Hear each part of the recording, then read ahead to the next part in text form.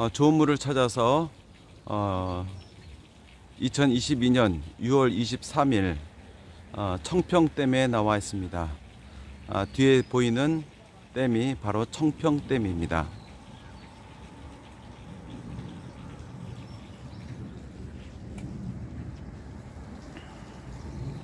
어, 청평댐은 북한강에 위치해 있고요.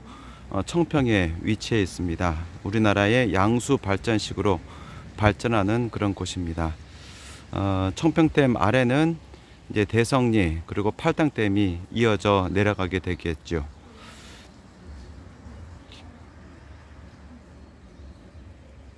이 청평댐 위에는 이제 가평으로 넘어가게 됩니다.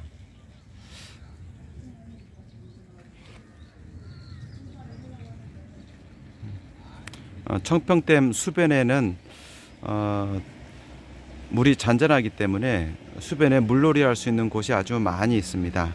여름에 휴양을 보내기엔 아주 적격인 그런 곳이죠. 어, 수상 보트, 어, 제트 보트, 여러 가지 물기구 놀이들이 많은 그런 곳입니다. 여름의 명소 중에 하나입니다.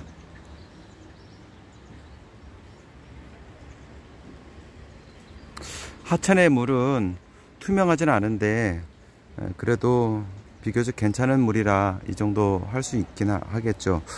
어, 조금 더 맑고 깨끗한 물이 되면 얼마나 좋을까요? 춘천에서부터 내려오는 어, 그 물이 이곳에 모여 있습니다. 어, 각종 미네랄이 풍부하고 좋은 영양소가 많은 그런 물이 될 것입니다. 자, 이런 물이 이제 청평댐을 거쳐서 이제 팔당댐을 거쳐서 어, 서울과 경기의 수도권에 좋은 물로 수도로 공급이 될 것입니다. 우리가 자연을 잘 보호하고 쓰레기를 버리지 않고 그래서 좋은 물을 만들어서 우리들의 후손에게 좋은 물을 물려줄 수 있는 과제가 우리에게 남겨져 있는 이유입니다.